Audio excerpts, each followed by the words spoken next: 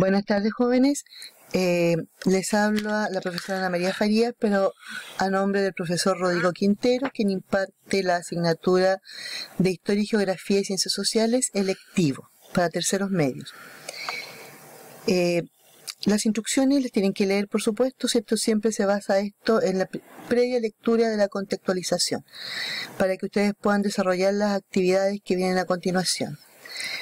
Aparece inmediatamente aquí las fuentes de información y por supuesto cualquier duda, consulta, eh, no tengan ningún reparo en dirigirse al profesor eh, Rodrigo Quintero, quien va a solucionar todos sus problemas en cuanto a esta guía.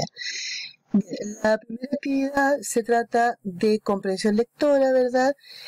Es un son trabajos de texto y por supuesto que también interpretación de imágenes.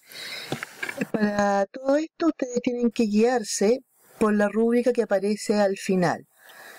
Se guían por esa rúbrica y no tendrían ningún inconveniente en que ésta sea evaluada en forma bastante exitosa y positiva. Al igual que en otras eh, guías anteriores, les recomiendo un trabajo eh, ordenado, un trabajo eh, disciplinado, por supuesto, y lo más importante, individual, que sea su trabajo personal. Y lo primero entonces es partir leyendo eh, los textos que aparecen en esta guía y no copien. Chao, saludos.